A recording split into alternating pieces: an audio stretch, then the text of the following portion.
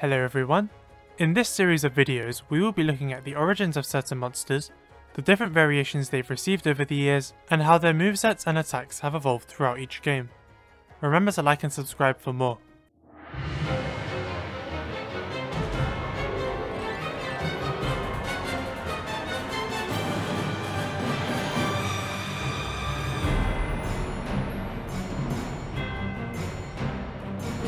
Kushala Daora is the flagship monster of Monster Hunter 2.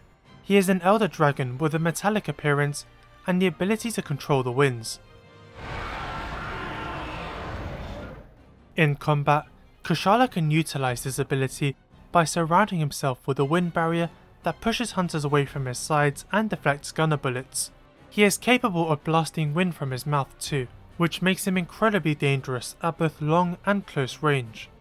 Speaking of close range, Kushala has several physical attacks too.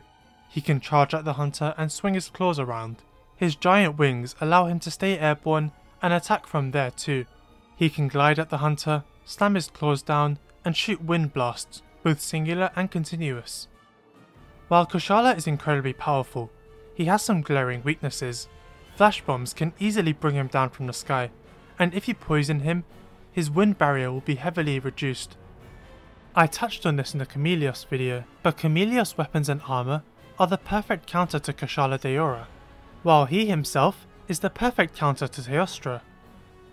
The same way breaking Chameleos' horn inhibits his invisibility, breaking Kushala's horns will stop his wind barrier. Because his scales are metal, they rust over time and eventually peel off, revealing a new hide beneath them.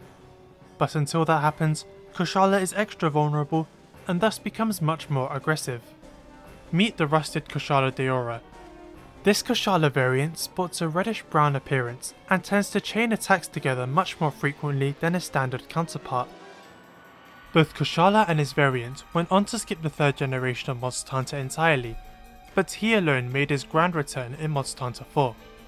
Aside from his attack animations being faster and overall smoother, he gains the ability to summon giant tornadoes that persist for a period of time. In G rank, he can also summon mini tornadoes that zip and zoom around the area, serving as persistent hazards. A change Kushala received in the 4th generation is the ability to summon Dragon Wind when enraged. Dragon Wind is black and will bypass any wind resistant skills hunters have equipped. However, breaking Kushala's horn or tail, or poisoning him, will prevent him from using it, only allowing him to use the regular wind. Rusted Kushala Daora returned for the expansion. In this game, he actually plays a major role in the story, serving as the main threat and final boss of the village quests. He is briefly fought and repelled in high rank, and battled for real in G rank.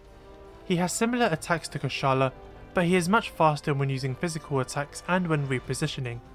He can chain bites together and has a much tougher hide. Kushala is also in Generations, where he is identical to his Hunter 4 version. Rusted Kushala was absent from this game, and every entry onwards. As of this video, 4 Ultimate is his last appearance. Kushala Daora later made a return for World, looking lovely in HD, with several new readjustments. He is no longer weak to poison. To suppress his wind powers, you must use Elder Seal, a new property weapons can have, he can create huge tornadoes like in Monster Hunter 4, but in World and Iceborne, he can summon multiple, which heavily restricts the hunter's movements. They can either move around or stay in one place. One of his new ways of summoning them has him spread his wings and create one beneath him as he takes off into the air.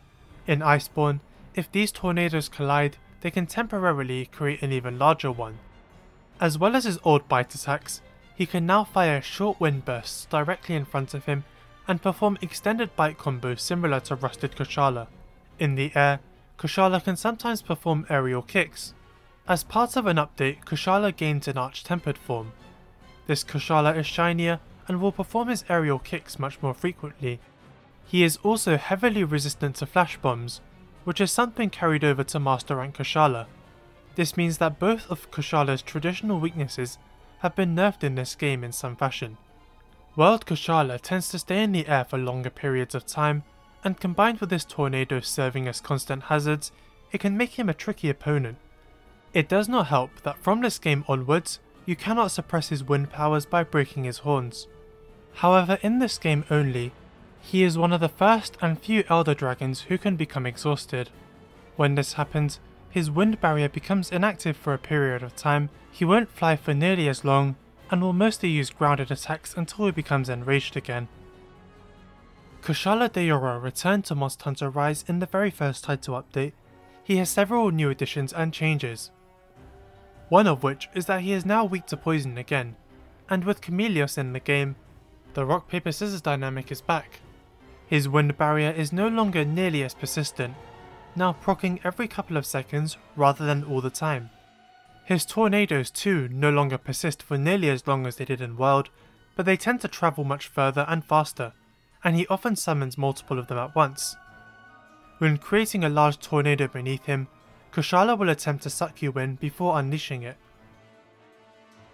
He has a new combo where he fires a wind blast that knocks you into the sky and then follows it up with another aimed blast, forcing you to wirefall in order to dodge it. Kushala in general seems to not only combo attacks together pretty fast, but unlike World Kushala, tends to spend lots of time on the ground. Many of his aerial attacks will now have him land, where he combos into ground attacks. Sometimes he performs ground attacks that combo into aerial attacks too, like this one here where he slams his claws down, unleashing Dragon Blight on the player. This is a good opportunity to talk about Kushala and his elemental powers. In the older games, his physical attacks would be dragon element based. This was not immediately obvious, because elemental blights did not exist in those games. However, rather than dragon, Kushala's weapons dealt ice damage instead. This is because in snowy regions he could deal ice damage, but not anywhere else curiously. This also extends to 4 Ultimate, where he could only use Ice in the Frozen Seaway. In this game, he couldn't use Dragon Element at all. In Monster Hunter World, he cannot appear in the Hoarfrost Reach, and so he cannot use Ice Element in this game at all. In Monster Hunter Rise, he can inflict it in the Frost Islands, but not the Sandy Plains, and gains the ability to use Dragon Element with this one attack.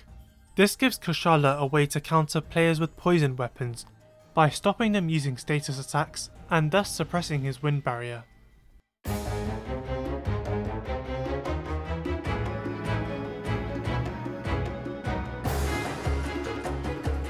I believe the Rise iteration of Kushala is the best version yet, restoring his poison weakness, making his wind barrier less of an issue, but turning up his aggression to compensate makes him a lot of fun the world iteration visually was stunning, but could often be very unfun to fight, especially as all conventional means of countering him were nerfed or heavily altered.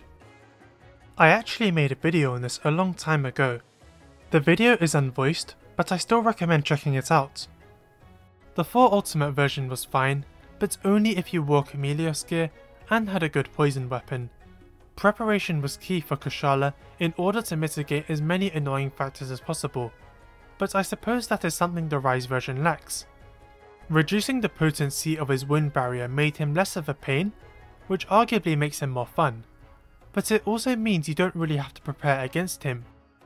Perhaps Sunbreak will make it more of a threat. Which Kushala is your favourite? Let me know in the comments below. Remember to like and subscribe, and check out my other videos too.